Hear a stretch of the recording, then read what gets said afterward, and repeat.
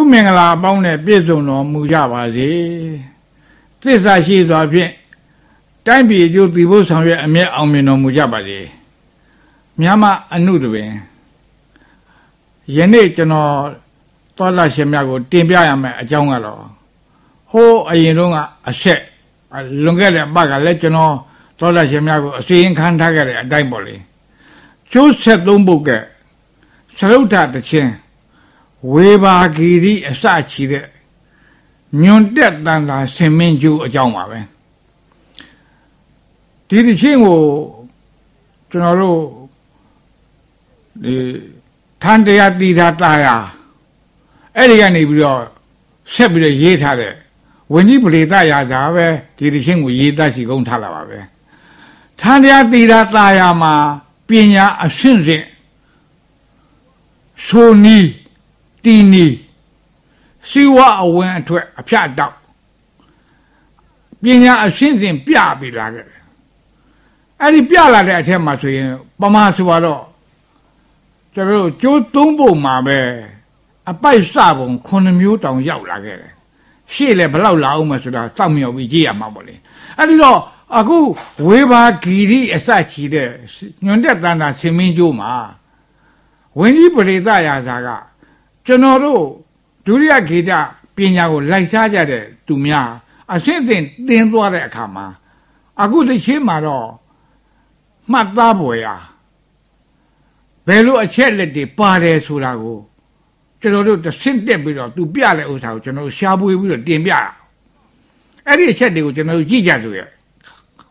ဒီတော့ဒီတစ်ချင်းမှာဘာတွေပါလဲဆိုတော့စီဝတန်ကြဟန္တာသုံးမျိုးမှာ ထူးထူးဆန်းဆန်းပါတဲ့ဥစ္စာတွေကိုကြည့်ရမယ်ဆိုတော့ပထမဥစ္စာတစ်ချင်းရဲ့စာသားကိုကျွန်တော်တို့အရင်ကြည့်ရအောင်အခုကျွန်တော်တချင်းမှာပါလာတဲ့စာသားကိုကျွန်တော်ဖတ်ပြပါမယ်အပိုက်ပေါင်း၈ပိုက်ရှိပါလေဒီတော့ပထမပိုက်ကစရပါဝေဘာဂီရိတောင်နေတွင်တရားနိုင်ရင်ရှင်ဒုတိယပိုက်ကတော့ ဒီစင်ကိုတဲ့ပေးအပ်နှင်းတရားတရားမင်းတတ္တရပိုက်ကလင်းစေကထန်တော်မှာဆက်ရမီမှန်တာသရုတ်ထအပိုက်ကတော့နီထွေးထွေး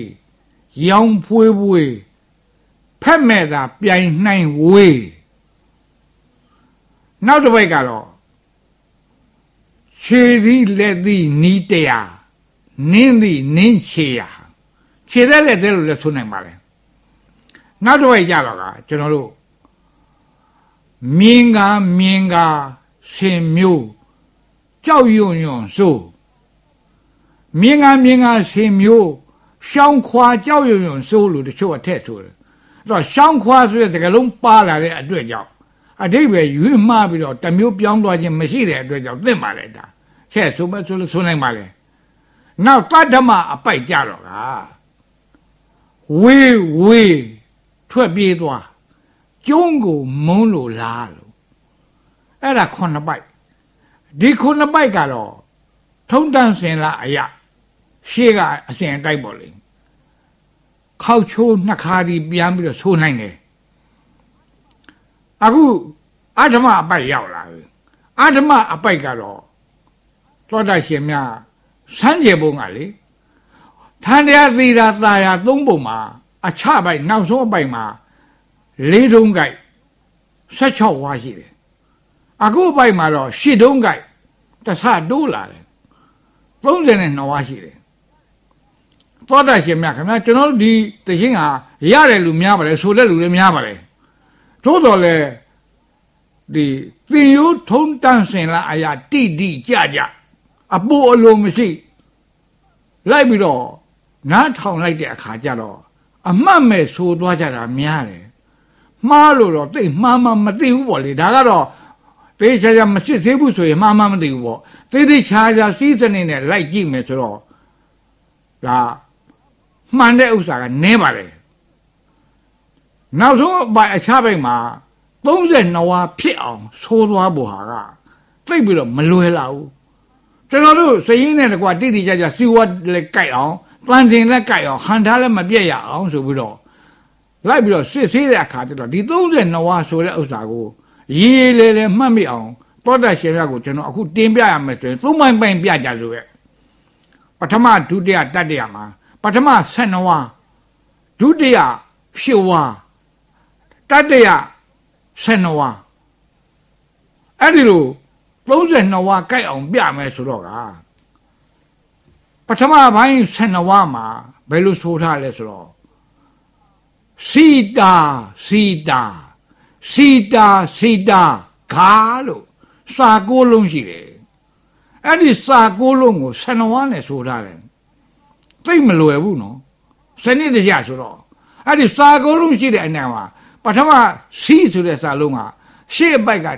သတ္တမအပိုက်ကနောက်ဆုံးဝါကိုတက်နင်းလိုက်တယ်ဒီတော့ရှစ်လုံးပဲကျန်တော့တယ်အဲ့ဒီရှစ်လုံးကို12ဝါနဲ့ဆိုရမယ်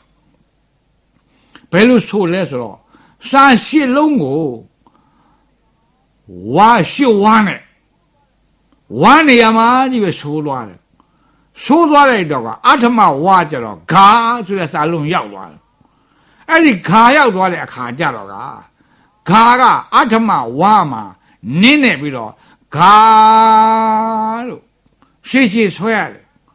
ဘာလို့ရှေ့ရှေ့ဆွဲရမလဲဆိုတော့ဓာသမစီရအောင်ဆွဲရတယ်ဓာသမစီရအောင်ဆွဲလိုက်တော့နှဝါရောကြောသွားသည်နဲ့တပြိုင်နက်နောက်အတော်သမားကအတိဒုရိယသမားများကဓာသမဝါကိုနင်းပြီးတော့နှဝါတော့လိုက်တော့ဆက်နှဝါပြက်သွားတယ်တိတ်မလွယ်ဘူးနော်ဘာဖြစ်လို့လဲဆိုတော့ ဒီနေရာမှာအကယ်၍စိတာစိတာခါဆိုတော့အမတ်တမလေးအတန်ဆဲသွားလို့ရှိရင်ကျန်တဲ့ဝါလေးဝါအတော်နေတဲ့ရောက်သွားတယ်အတော်နေတဲ့ရောက်သွားတော့ကလိုက်ကြည့်လိုက်တဲ့ကဟာကျိုးမှာလေးဝါတော်သလားလို့ဆိုတော့ကထုံးတန်းစင်လာအရဆိုရင်တိတိကျကျပြောကြစို့ဆိုတော့ကျိုးတစ်ချင်းမှန်ရင်နှစ်ဝါပဲတော်တယ် လေးဝါတော့တယ်လို့ဘယ်မှမမရှိဘူးဒီတော့လေးဝါတော့နေပါကလားလို့ဒီလိုတွေ့တွေ့တွေ့တွေ့နေရတော့နောက်တော့ဒီဥစ္စာစီးစနစ်ဆိုတာတိတိကျကျရှိရမှာပဲအကြောင်းတော့ရှိလိမ့်မယ်လို့လိုက်ရှာတဲ့အခါကျတော့ပညာရှင်တူးနဲ့သွားပြီးတေချာတွေ့တဲ့အခါကျတော့ဟုတ်ရောလားခါဆိုတဲ့အလုံးဟာအထမဝါနင်းပြီးတော့ဓာသမစီရအောင်ဂါ ဆိုလိုက်တော့အဲ့ဒီဓာသမဝါကိုအတော်သမားကနင်းပြီးတော့တက်ဘူးနဲ့ဘူးတဲနေတဲလဲတဲတဲသူကဝင်တော့လိုက်တော့နှဝါတော့လိုက်တော့ဆယ်နှဝါဖြစ်သွားတယ်အဲ့ဒီဥစ္စာအရေးကြီးဆုံးပဲမချွတ်တတ်ရင်ဒါဝါနဲ့ရောက်သွားတာပဲအဲ့ဒါနှဝါတော့နောက်ပြီးတော့ဒုတိယကြတော့ကရှေဝါဆင်းပြူလာဆင်းနီလာဆိုးဆိုးဆိုးကြသေး အစိုး6ဝါအတော့က2ဝါ8ဝါအဲ့ဒါပြီးတော့နောက်ဆုံးကြတော့ရှင်တော်ပြောင်းရှင်တော်ပြောင်းတောင်ပင်တောင်ရှိမြို့ဆက်ဒံလေလေဒီဟောဒီမှာဝါပေါင်းက10ဝါပြည့်သွားပြီဒီဘက်မှာ12ဝါပဲရှိတော့2ဝါပဲကျန်တော့တယ်ဒီ2ဝါမှာဆိုရအောင်စာကဘယ်နှလုံးရှိတယ်လဲသုံးလုံးကျန်တယ်မြို့ဆက်ဒံလို့ အဲ့ဒီမျိုးစတန်းဆိုစာသုံးလုံးကိုနှဝါးနဲ့ဝင်အောင်ဆိုရတော့ကဟန်ကြီးကြလို့ခေါ်ပါလေသောတာရှင်များခင်ဗျာဟန်ကြီးကြလို့ဆိုပြီးတော့နှဝါးနဲ့ဖြစ်အောင်ဆိုလိုက်တော့ကဒုံလန်းကြိုက်သွားတယ်စနစ်ကျကြသွားတယ်အဲ့တော့ဒီဥစ္စာဆန်းကျင်ပါကလားလို့ဆိုတော့မဆန်းကျင်ပါဘူးခင်ဗျာကျွန်တော်တို့ဝင်းကြီးပရိသတ်ရေးလာတဲ့တခြင်းတွေပြီးတဲ့နောက်မြဝတီမင်းကြီးရေးတဲ့တခြင်းတွေဆက်ပြီးကြည့်လိုက်တဲ့အခါကျတော့ ဟိုကျွန်တော်တို့အဲပန်နုပြောပဲကျိုးငါဖို့မှာပထမဆာယာတောင်ကျွတ်မှာချလာလဲဒီဝေဘာဂီရိချနီးမျိုးနဲ့လေးဝါရှိတဲ့အနှစ်ကဒုံးကြိုက်သွားအောင်စာနှလုံးကိုသိုးသွားတာဟာဝေဘာဂီရိဆိုတဲ့နေ့အတိုင်းသိုးသွားတာပဲအဲ့ဒါဟန်ကြီးကြလို့ခေါ်ပါတယ်အဲ့တော့သိဖို့မှတ်ဖို့ကဘာလဲဆိုတော့ဒီနေရာမှာ ဟန်ကြီးကြချသွားခြင်းအပြင်ဟန်ကြီးကြချလိုက်တဲ့အတွက်ကြောင့်အချပိုက်ဟာအဆန်းဖြစ်သွားတယ်ထန်တရားသီတာตาရမှာဥမာပြထန်တရားမှာ တယောတေတရားစာသုံးလုံးကိုလေးဝါးနဲ့ချတယ်ဟောตาယာနဲ့တီဓာတို့မှလည်းပဲထိုးနိတူစွာပဲ ဝဲကပြန်ဆိုပြီးတော့အဲ့ဒီဝဲကပြန်စာသုံးလုံးကိုလေးဝါးနဲ့ချသွားတယ်အခုကျွန်တော်တို့ဒီဒီနေရာမှာတော့ကမြို့ဆဒန်းဆက်စာလုံးလုံးကိုနှဝါးနဲ့ကြိုက်အောင်ဆိုးမှဒုံးကြိုက်တယ်ဘာကြောင့်ဆိုရှေ့က10ဝါကိုဒီက2ဝါနဲ့10ဝါကြိုက်သွားတယ်အဲ့ဒါကအရေးကြီးတဲ့အပိုင်ပဲဒီပြုတ်သိချင်းမှာအထူးအဆန်းကျွန်တော်တို့မှတ်မှတ်သားဖို့ဟာနောက်ဆုံးအပိုင်မှာဂါဆိုတဲ့ဥစ္စာကိုအတန်ရှည်ဆွဲပြီးတော့ဆိုတဲ့နီးရဲ့ အချပိုက်မှာဒီဟန်ကြီးကြရဲ့အဲ့ဒါကတော့ကကျွန်တော်တို့ဒီဒီသရှိမှာထူးထူးဆန်းဆန်းအချက်ပါပဲစေဝါနဲ့ဆိုင်သမျှပေါ့လေနောက်တစ်ခါရှေ့ပိုင်းကိုကျွန်တော်တို့ကြားနေခဲ့သေးတယ်ရှေ့ပိုင်းကဘာကြံရင်ခဲ့လဲဆိုတော့အပိုက်ပေါင်း9ပိုက်ရှေ့ကရှိတဲ့ဥစ္စာကသူကအပိုက်တိုင်းအပိုက်တိုင်းမှာတနည်းတဲ့တလန်းနဲ့ရှေ့ဝါနှစ်တုံးကြိုက်တွေကြီးပဲဟိုထန်တရားတွေတော့လို့ပေါ့ဗျာ ထန်တရားတွေမှာရှေ့ပိုင်းက9ပိုက်ဟာအကုန်လုံးအဲနှစ်တုံးကြိုက်တွေကြီးပဲသူကလည်းနှစ်တုံးကြိုက်ကြီးပဲပြီးတော့ဒီသချင်းမှာစမ်းကြယ်ပြန်တာကရှေ့ဘက်ကနောက်ဆုံးဝါကိုအကုန်နင်းတာပဲထန်တရားသေးတာတာယာမှာတော့နင်းတဲ့အခါလဲနင်းတာပါလဲမနင်းတာလဲပါတယ်သူကတော့အကုန်နင်းပြတယ်နင်းပြပြီးတော့စီးဝါးနဲ့ဆိုင်တဲ့ဥစ္စာတစ်ချက်ဘာအထူးအဆန်းပါလာပြန်လဲဆိုတော့ဝေဘာဂီတိတောင်နေတွင်တတ္တရစီရောက်ထားပြီးတော့ သရုတ်ထစီကြားထဲမှာအတိအဝင်ခုလိုက်တယ်